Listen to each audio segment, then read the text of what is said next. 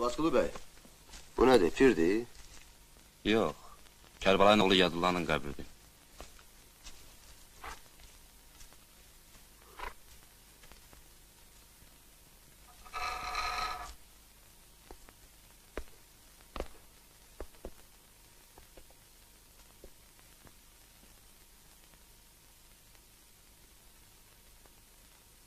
Yazıq nakam öldü. Heç bir şeyin içində getdi. Kərbəlayı yerə baxan adam idi. Amma hər dəfə başını yuxarı qaldıranda ağır bir cinayət baş verərdi. Gah bir evdə, gah başqasında göz yaşları axardı. Oğlu da bu vəhşi düşmənçiliyin qurbanı oldu.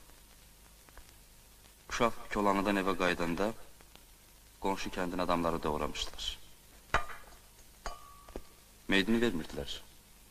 Kərbalayın o ağır, müsibətli günlərində işə qarışdım. Uzun mübahisədən, minnətdən sonra oğlanın meydini alıb verdim atasına. Ellerinizi kaldırın!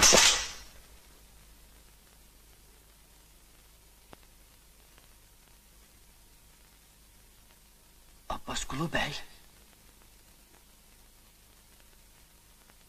Sən kimsən? Xudayarın qardaşıyım bey. Burada nə gəzirsən? Qəmlodan gizlənirəm, məni axtarırlar. Fikirləşmirsən ki, birdən Kərbalay bura gələr? Kərbalaya başını itirib bey, oğlu da yadından çıxıb. Bilmirsən indi hardadır.